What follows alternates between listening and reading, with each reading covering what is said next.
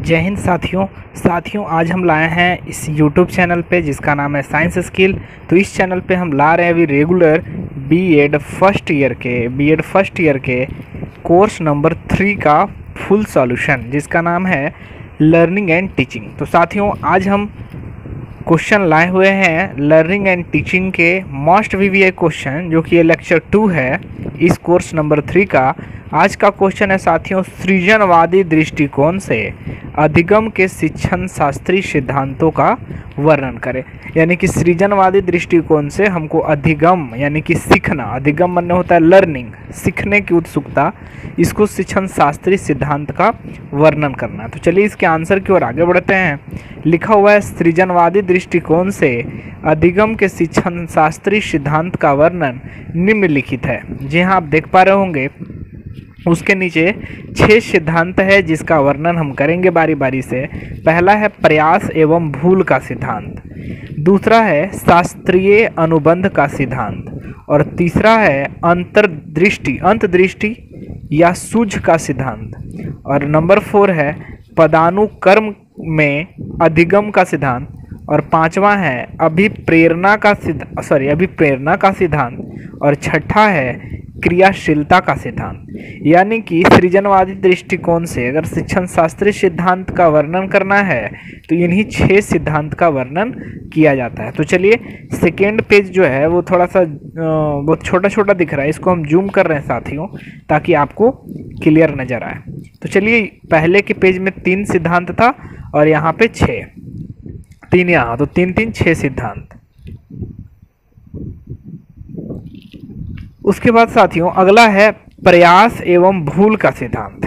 यानी कि जो पहले हम लोग देख रहे थे, पहला जो सिद्धांत है वो प्रयास एवं भूल का सिद्धांत। इस सिद्धांत का प्रतिपादक थॉर्नरडाइक है। एक वैज्ञानिक हैं जिनका नाम है थॉर्नरडाइक तो ये प्रयास एवं भूल के सिद्धांत को प्रतिपादक है। उन्होंने बताया कि अगर हम किसी भी बालक की उत्तेजना बढ़ा दें तो वह उसके प्रति अनुक्रिया करता है। यानी कि इस सिद्धांत में ये बताया गया है कि किसी भी बालक की उत्तेजना को बढ़ा दिया जाए तो उसके प्रति वो क्या करता है? अनुक्रिया करता है। बार बार उस अनुक्रिया को दोहराता है और उसमें सीखने की क्षमता भी बढ़ती है। यानी कि छोटे बच्चों को देखते होंगे, कुछ ना कुछ वो प्रयास करते रहता है। एक ही चीज़ को बार बार उसको मना करने के बाद भी वो चीज़ों को करते रहता है, ताकि उसमें सीखने का गुण है। तो ये था प्रयास एवं भूल का सिद्धांत। फिर हम लोग बात करते हैं अगला। शास्त्रीय शास्त्रीय अनुबंध का भी सिद्धांत, जो कि दूसरा है। इस सिद्धांत का प्रतिपादक पावलोथ है। इस सिद्धांत का प्रतिपादक, यानी कि जो दिए हैं, उनका नाम क्या है? पावलो। इसके अनुसार, यदि हम किसी की उत्तेजना के समांतर अगर कोई संकेत निर्धारित कर देते हैं तो वह समान प्रतिक्रिया करता है जितना कि वह उत्तेजना बढ़ाने पर करता था। यानी इस सिद्धांत का जो प्रतिपादक पालो जो थे उनका ये कहना है कि हम किसी को भी उत्तेजना के समांतर कुछ संकेत का निर्धारण कर देते हैं। जैसे मान लीजिए कि कोई हमें उत्साह बढ़ाता है कि चलो तुम कर लिए कर लिए तुम कर सकते हो तो अंदर से वो एनर्जी आता है उत्तेजना आता है उस काम करने का एकदम शक्ति आता है। तो इसी को पा, पालो ने शास्त्रीय अनुबंध का सिद्धांत में बताया है। फिर आगे है अंतदृष्टि या सूझ का सिद्धांत। तो इस सिद्धांत का जो है प्रतिपादक जर्मनी के मनोवैज्ञानिक कोहलर कोफ्ता और वार्दीमर यानी कि तीन वैज्ञानिकों का नाम आता है अंतदृष्टि और सूझ के सिद्धांत को दे, देने के लिए। तो साथियों यहाँ पे अंतदृष्टि का जो सिद्धांत है वो जर्मनी के मनोवैज्ञानिक कोहलर कोफ्ता और वर्दीमर है। इन वैज्ञानिकों के अनुसार हम अपने बुद्धि के छोटे छोटे अंश में नहीं देखते हैं, बल्कि यह एक संगठित अवस्था के रूप में देखा जाता है। यानी इनका कहना है, यानी कि अंत अंत दृष्टि और सूझ के सिद्धांत जो है, वो जर्मनी के मनोवैज्ञानिक कोहलर, कोफ्ता और वर्दिमर, ये तीन वैज्ञानिकों ने मिल कर दिया है। इनका ये कहना है कि हम बुद्धि को छोटे छोटे अंश में नहीं देखते हैं, बल्कि मेरा जो बुद्धि काम करता है, वो सभी सम्मिलित रूप में, संगठित रूप में काम करता है। चलिए, आगे हम देखते हैं। आगे है, पदानुकर्म। में अधिगम का सिद्धांत। अब जरा देखते हैं कि इसमें क्या बताया गया है। तो इस सिद्धांत में सीखने के मानवीय क्षमता के सकारात्मक परिवर्तन के रूप में बनाया, बताया है। यानी इस सिद्धांत में सीखने की जो मानवीय क्षमता, एक मानव का सीखने की जितनी क्षमता है, उसको इसमें बताया गया है। जिसे कोई भी व्यक्ति विशेष अर्पण करता है, इसके अनुसार सीखना व्यक्ति के मस्तिष्क के अंदर घटित होने वाली एक प्रक्रिया है। इसके अंतर्गत सीखने के कई प्रकार बताए गए हैं। पदानुक्रम में अधिगम का जो सिद्धांत है, पदानुक्रम के अधिगम का जो सिद्धांत है, इस सिद्धांत में क्या बताया गया? तो एक मानव का क्षमता के रूप में ये काम करता है, जिससे कोई भी व्यक्ति विशेष अर्पण कर सकता है। मैंने अर्पण का मतलब क्या? पा सकता है।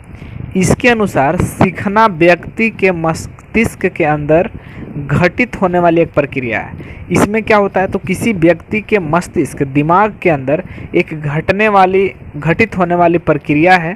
इसके अंतर्गत सीखने के कई प्रकार बताए गए हैं। यानी इस सिद्धांत के अंतर्गत सीखने के कई प्रकार बताए गए हैं।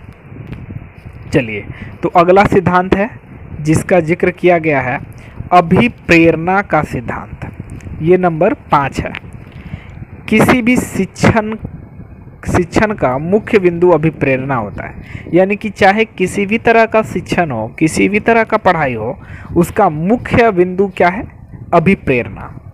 यानी कि मोटिवेशन अभिप्रेरणा का सिद्धांत शिक्षण के लक्ष्य को निर्धारित करता है।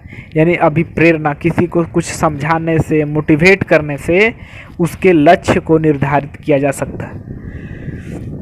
नैतिक, चारित्रिक एवं सांस्कृतिक मूल्यों का विकास इनमें होता है। याद रखिएगा, अभी प्रेरणा से क्या होता है? तो बच्चों के अंदर नैतिक, चारित्रिक और सांस्कृतिक मूल्यों के विकास होता है। अभी प्रेरणा के शिक्षार्थी को आंतरिक बल प्रदान करती है।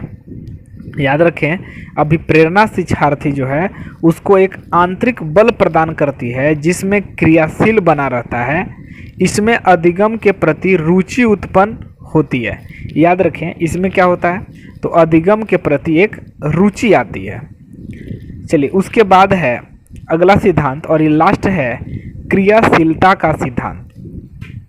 इस सिद्धांत का मुख्य उद्देश्य करके सीखना है। याद रखिएगा, इस सिद्धांत का मुख्य उद्देश्य क्या है? तो करके सीखना यानी कि किसी भी चीज़ को क्रियाकलाप द्वारा, यानी कि चीज़ों को करके सीखना।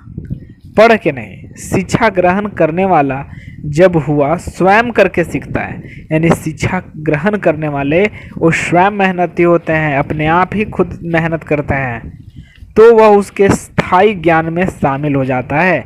यानी कि अगर कोई भी काम खुद से करिएगा तो आपको वो, आपके ज्ञान में शामिल हो जाएगा, आपको एक आइडिया मिल जाएगा, चाहे कोई भी काम हो। यह सिद्धांत विद्यार्थी के वास्तविक अवलोकन को उत्साहित करता है।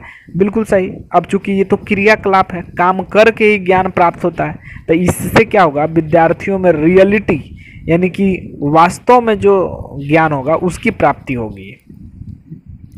इस सिद्धांत में शिक्षार्थी जितना अधिक क्रियाकलाप में शामिल होता है उसका ज्ञान उतना ही व्यापक होता है। यानी इसमें बताया गया कि इस तरह का ज्ञान, यानी कि क्रियाकलाप करके अगर किसी भी चीज़ को समझता है तो उस जितना क्रियाकलाप ज़्यादा करेगा, उसका ज्ञान भी उतना ही ज़्यादा बढ़ेगा। तो साथियों, ये थे लर्निंग और टीचिंग के मोस्ट वीवीआई क्वेश्चन जिसको हम लोग देख रहे थे, सृजनवादी दृष्टिकोण से अधिगम के शिक्षण शास्त्रीय सिद्धांत का वर्णन। तो साथियों आई होप कि आप इसे अच्छे से समझे होंगे और आप सीधा सा यही क्वेश्चन आएँगे तो आप ऐसे ही क्वेश्चन को सजाकर बीएड के एग्ज़ाम में लिखेंगे तो आपको अच्छे मार्क्स आएँगे। साथियों, हमसे जुड़े रहने के लिए इस चैनल को ज़रूर सब्सक्राइब कर दें शेयर करें और लाइक करें। तो साथियों, फिर हम मिलते हैं अगले क्लास में, अगले वीडियोज़ में। तब तक के लिए धन्यवाद।